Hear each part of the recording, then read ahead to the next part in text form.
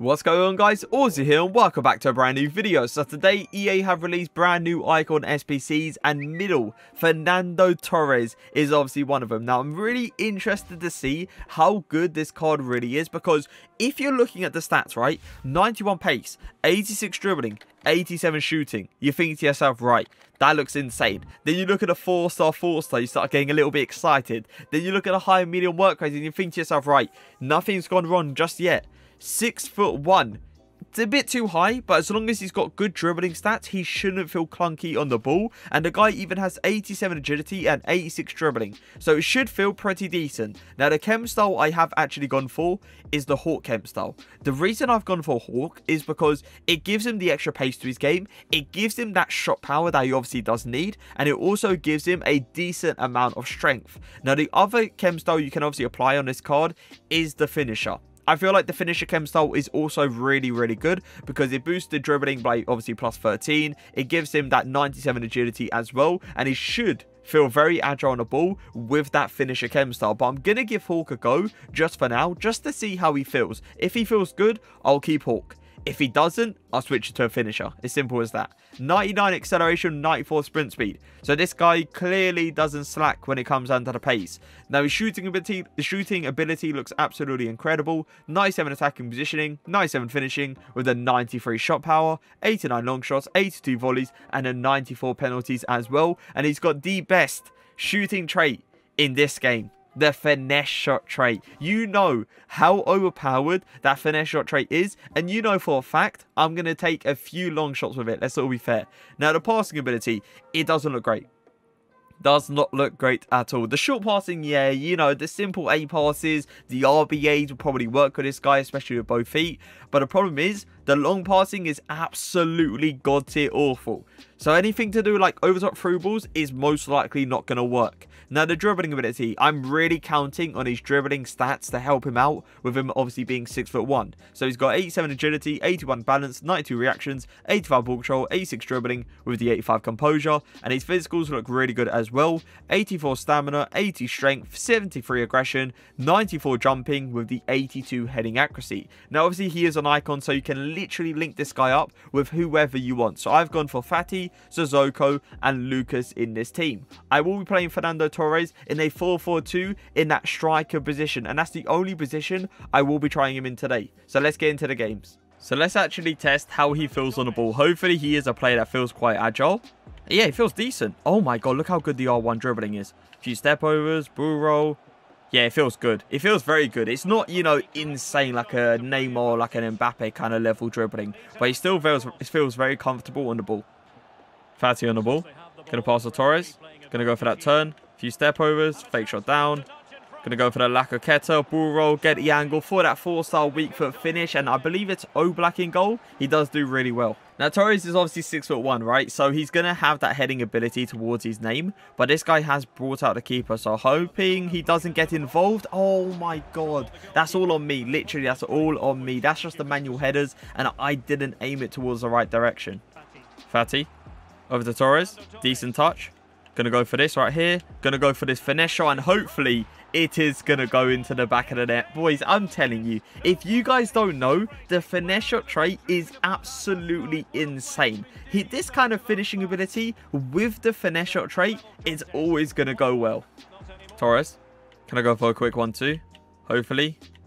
Gonna try play that ball. There you go, that's a perfect ball. Keep going. Keep going. He's really fast, to be fair to him. I'm going to go for an RB8. Lucas. Me and you, Lucas, we need to have a word about that miss because Fernando Torres has literally put it on a plate for you. I'm going to be honest, I did not expect that to go through. But the fact that Lucas has missed that is so, so annoying. Torres. I like how he actually comes short there. There is times that he does obviously make those runs in behind, but he has came short a fair amount of times. Going to try to get this footwork going. There you go. There you go. Bull roll. Going to try to go line. Few step overs. Can anyone get into a sweating opportunity? Everyone's sitting on the edge of the box. Like, what's happening? Torres is the last minute, mate. I need you to make this run. Keep going. Oh, my God. What a pass. What a pass. Great strength. Gonna hit it towards the near post because I saw the guy move the keeper. Do you see the strength though? This is why I feel like the Hawk Chem style is going to help him out so much. While running, he's going to use that strength to kind of shield off opponents. And he's obviously going to take it very calm and composed and go for that easy finish. So I'm going to try to get this Fernando Torres little header here. You know, I'm going to aim... I'm going to aim edge of the box. I'll try to green time it and see if anything works out from there. Green. Green. Oh, I missed out the green, but it was still a very, very good header. Gonna go for that turn. Few step overs, get that acceleration going, get that fake shot on a corner, get that cross goal finish. I'm telling you boys, this guy is so, so fast. And it's not just how fast he is, he also runs with a lot of strength to his game. So he can obviously do those shielding off, do those, you know, little hand on the player to kind of move them away a little bit. And obviously create an angle for himself so he can go for those fake shots around the corners. Torres, one, two. Gonna call him short. Gonna bring it forward a little bit, well played. Little ball roll. Oh, come on. Give it back to him. Fake shot. Or scoop turn. Go for that finesse shot. Oh, my God. It's so beautiful to see it go crossbar down. You don't see it very often hit crossbar down, but look at it. When it does it, my God, it's just lovely to see. I definitely do like his movement when going forward, where he has got that nice balance to his game of, you know, running in behind or coming short. You don't really want to see, like right here, you see how he comes short right there? That's really good to see because he's giving me those passing option, obviously dragging centre-backs out of positions, and I can obviously go for a finish and maybe get a goal. But yeah, I like to see that balance when I use strikers because I don't want to see a person consistently running behind. I don't really want to see a person consistently coming short, and he's got that thing where he goes in behind time to time, but he also comes short at like the perfect moments. Lucas, over to Torres. He'll turn. Few step overs. Gonna go for that power shot. I must say, right, he's not like an extremely agile player. And I am noticing in some angles, it is obviously a little bit tough to actually turn with him. But as soon as you can go for this finesse shot, oh my god. I'm telling you boys, if you get that finesse shot angle of this guy, it will go in, I would say like 8 times out of 10. You just have to perfectly put the power onto it. Great turn. No, he hasn't got that like acceleration to his game, which kind of makes me think to myself, would he be rather off with that finisher chem style? Because yeah, he is a fast player. It's just he's not like an extremely fast player. And I feel like with the finisher chem style, he's still going to be able to do that. So next game, I'm, I'm going to give him the finisher chem style just to see how he would feel on the ball. So I have applied that finisher chem style onto him now. I do obviously want to test out his dribbling. Little fake shot, ball roll, step over. Oh, one dribbling. Oh my god, it feels so much better. Oh my god, look at that. Little fake shot forward. Go for that finish shot with that weaker foot. It is going to miss, but he feels so, so good on the ball with that finisher chem style. So it all kind of depends on your play style. If you're a player that, you know, kind of gets your strikers in behind a fair amount of times, I would obviously say stick with the stick with the Hawk chem style. But if you are a player that kind of wants the strikers to be played to feet and you know you go for those quick turns, go for those quick skill moves into the angles, definitely, definitely go for a finisher chem style. Torres. Get acceleration going. A few. Oh my god, look at this.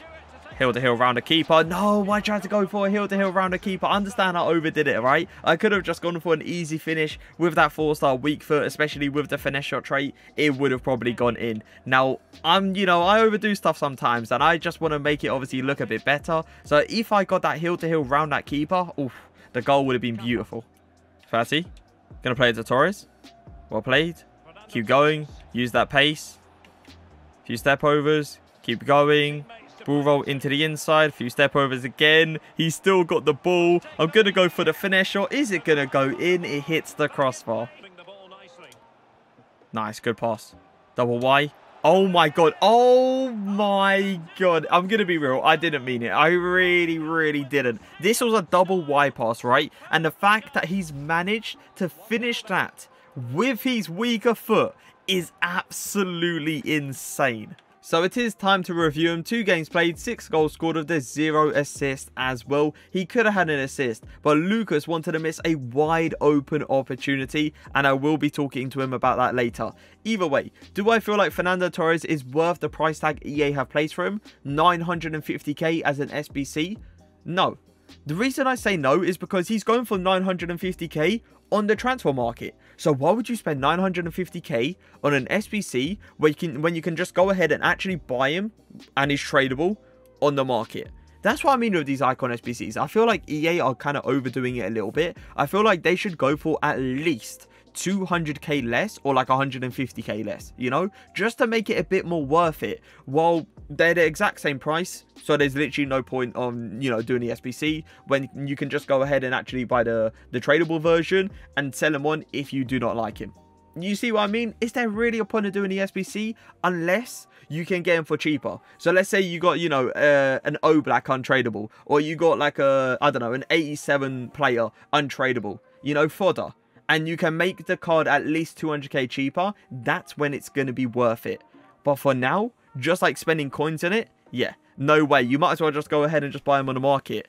Now, I'm I wanted to talk about the chem for this card because the finisher chem style is a huge, huge difference between like the Hawk Chem style when it comes down to stuff like dribbling. The dribbling is something you are going to notice a fair amount. Like I noticed it instantly. As soon as I touched the ball with Fernando Torres, with that finisher Chem style, I could see a huge difference between the, obviously the Hawk Chem style that was applied of him. So if you are a person that likes the ball to your striker's feet, then go for that finisher Chem style. But if you are a person that uses your strikers to obviously just get in behind, the Hawk Chem style I feel like will benefit you a little bit more. Now for pace, I am going to give his pace, I would say an 8.7 to an 8.8 out of 10.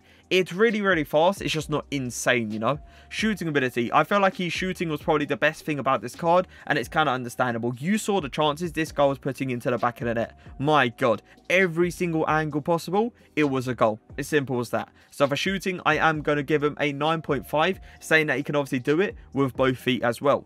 Now, the passing ability. I felt like his short passes wasn't like insane you know? Like the a balls the balls yeah they do work but if you're talking about anything to do with like long passing lb wise rb wise yeah it's a no-go. Like straight up it's a no-go. So for passing i am gonna give him i would say a 7.5 out of 10 now the dribbling ability with the finisher chem style i'm gonna give his dribbling an 8.8 out of 10 now, if we are talking about dribbling with a Hawk Chem style, I would instantly give it like an 8.2 out of 10. So a big, big difference between the two.